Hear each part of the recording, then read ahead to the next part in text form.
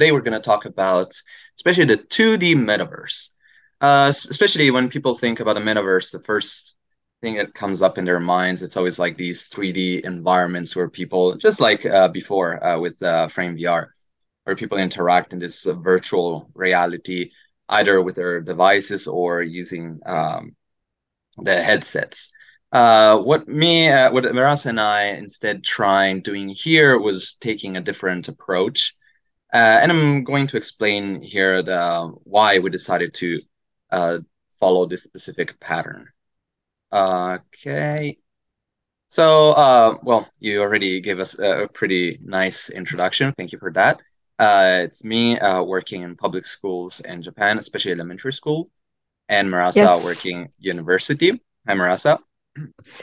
Thanks. Thank you, uh, everyone, for being here with us. And we're excited to share what we've done in our classes with you regarding uh, immersive learning in the 2D metaverse. Yes. So I'll first give the floor to Nick to tell us about his context, and I'll continue from uh, after he's finished. Please. Thank you. So uh, we're going to start uh, why we're talking. So what the main goal here is not to uh, just think of online teaching as a way to uh, kind of like uh, to kind of like change the setting because of COVID. We wanted to try a different approach, and our goal here was to kind of like foster uh, a new kind of skills, remote collaboration. Uh, it's something that uh, it keeps uh, growing also in in the industry level in society nowadays. More and more companies despite uh, COVID closures ending, uh, they're still uh, relying on this kind of new approach to working, where people working from different locations or from their homes. So when we, as a teacher, when I think about my students, I'm always like, okay, so what skills do they need when they get there, when they start working? And this has become a very solid uh, uh, skill that they will have to use, or might even change by then. But it's definitely going to move forward from this step. So uh, what we're looking here is also how can we create this virtual reality where students can interact and collaborate with each other using the most common apps. Uh, in this case, especially in Japan, uh, Google apps are pretty uh, popular but this is just an example. Any kind of on uh, app that works in a cloud can be embedded in this kind of system. So in this case, uh, what we've worked for, with was the Google Suite for um, Workplace. So uh, again, we're talking about public schools. So we're talking about a place uh, where funds are limited, uh, and it, we need to think about our users. We're talking about young learners. So it's not like we can throw anything at them and be like, okay, now use it. They have pretty limited skill sets in general. Uh, so when we need to bring something new, innovate, we need to consider a number of things. Uh, first of all, uh, schools now have uh, uh, given students their own device, but they come with very low specs. So thinking of connecting uh, headsets is basically impossible, both in terms of uh, financial support, but also in terms of uh, system environment. Uh, then we need to consider that whatever we need to use for this kind of uh, new setup, uh, so no additional hardware nor software. And it has to be something very easy to implement. If we're thinking of creating this as a standard, where teachers can easily start using this uh, new system, it has to be something that they can pick up pretty easily. And then it has to have a clear goal, both for the students and the teachers. So uh, I'm going to start, we're going to look at this from two different contexts. We're going to look at my context with his primary education, and then Maras is going to continue with university. Uh, in my case, uh, we decided to uh, connect students uh, which were living remotely. Uh, especially in my area, I live in Nagano Prefecture. Uh, so there are many schools that are very far away. And some schools have like in one classroom, you only have three students. So how can we allow those students to still foster their communicative skills and collaborative skills with other people without moving around? Uh, and we decided to use uh, a less, uh, basically a unit from a textbook. So not just uh, standalone lessons, but uh, focusing on one unit, which is uh, considered of eight as eight hours. And through this, they would all of the students have to work together to reach the unit goal. In this case, basically we have five elementary schools, one full textbook unit, and the unit goal in this case is to think about our food. That's the title of the unit. And in order to complete their goal, basically students need to consider both the production areas of food and also consider health balance. So for example, um, in the end, they would have to create a menu. And this menu would have to have, okay, so we have rice. Rice is from Niigata. And rice is in the yellow group they have the health groups here in Japan, the red group, yellow group, and green group, depending on what kind of food they're talking about. So uh, this is foreign language education. So the students are not uh, fluent in English, but they're also learning the language as they go. So we decided to take uh, kind of a hybrid approach where for four lessons, we focus on the language in the classroom. And for four lessons, we have the students collaborate towards the final goal together. And the fun part of this is not only we're connecting students that are usually uh, uh, just by themselves and connecting with different schools, but we're also allowing for uh, share uh, for them, giving up them the opportunity to share what they're uh, about their areas. So basically, in the end, this menu is going to be created by the typical foods from each area put together and then shared to every location. So basically, you will have a specific uh, main dish from one area, a side dish from another area, and like drinks from a different one. And they're all going to do this together inside the metaverse. In this case, we've used uh, Gather Town, which is a 2D environment that looks like a video game. Uh, students work in groups, so they all log in and move to their desks. And then they use uh, slides, Google Slides that have been put on their desks. As you can see, it's very visual. It's very easy to understand. The students create their own avatars and they just move around depending on their groups. When they move sit to their groups, each area is a breakout room and they can collaborate together inside the space.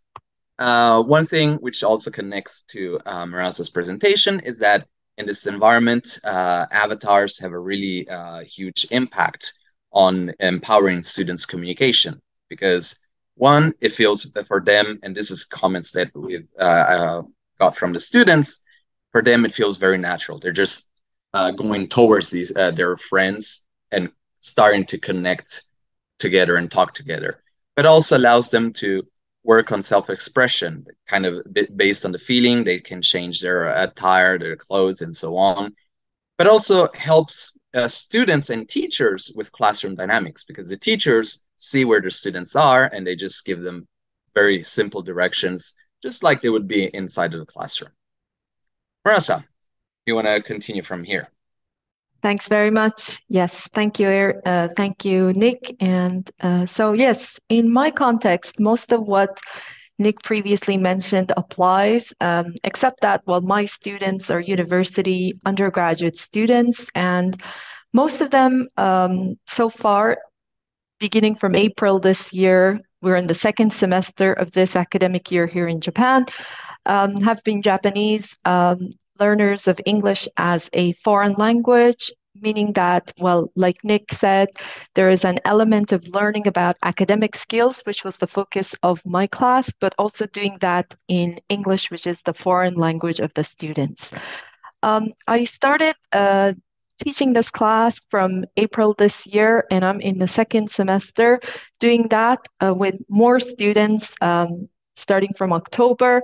And I've done online synchronous classes on GatherTown, similar to Nick. Um, and so in this course, the goal is to um, develop students' fundamental academic skills um, in the areas of reading, writing, and presentation. And to do that, um, I have tried to create collaborative tasks as much as possible that would get the students to, first of all, talk and communicate to one another and also to be able to work on a collaborative task together, again, using uh, shared documents or other apps that allow them for group work.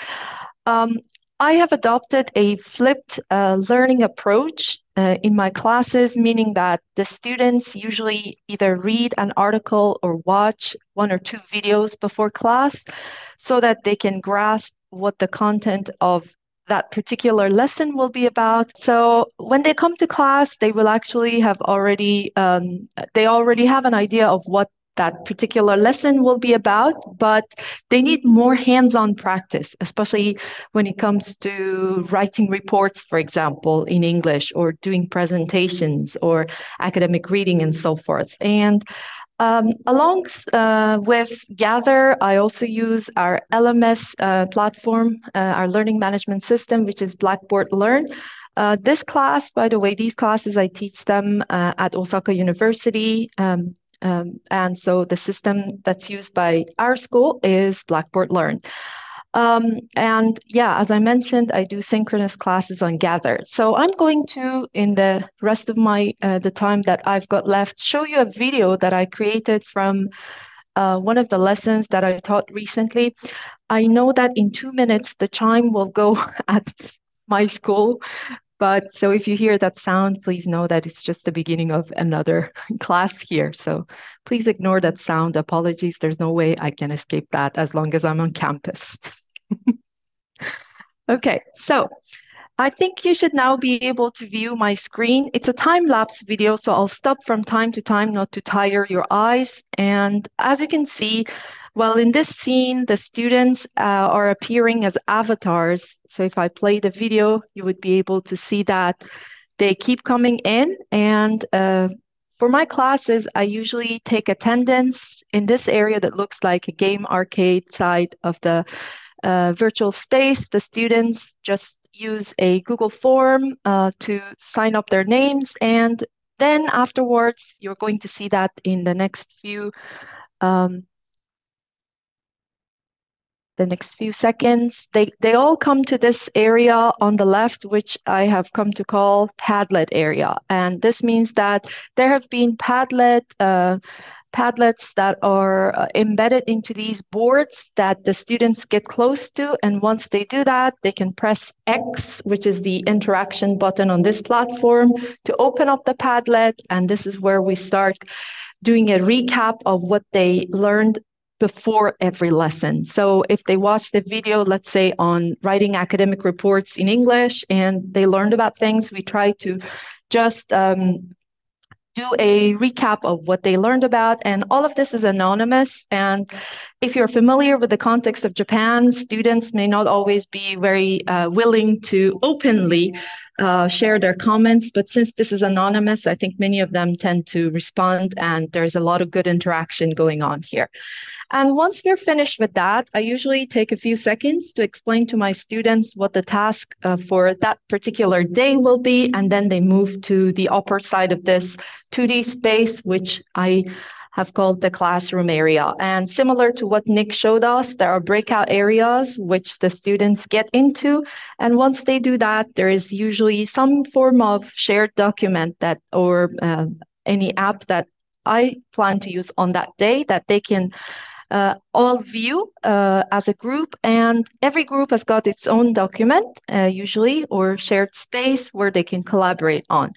So I usually explain to them what they should do. They sign up their names, and uh, I do some screen sharing to tell them what the activity for that particular day will be like. So in this case, uh, we were learning about academic reports, and the goal of the day was to work on body paragraphs. So I extracted some topic sentences from a model report that I had access to, and then the students, from what they learned as they watch the videos, were able to actually uh, work as a group and try to complete these uh, body paragraphs based on uh, the ideas that they see here after brainstorming uh, together.